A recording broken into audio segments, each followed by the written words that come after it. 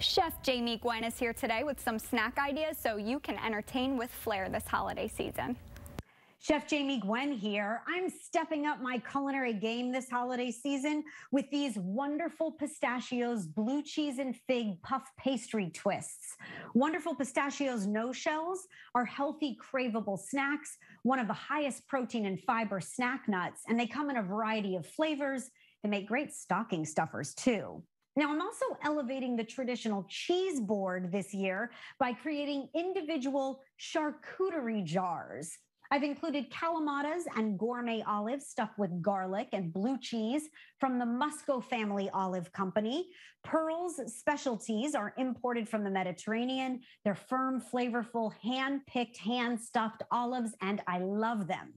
Now, while everyone loves a party, I like to bring the holiday spirit into my home every day during the holidays.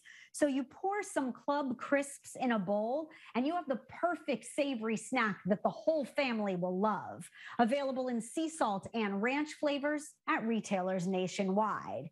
Now, for baking and cooking, and especially at the holidays, I always prefer Vital Farms pasture raised butter and eggs.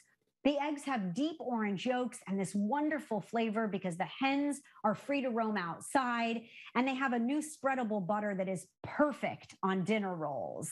And how about a world first? This is the Jura Z10.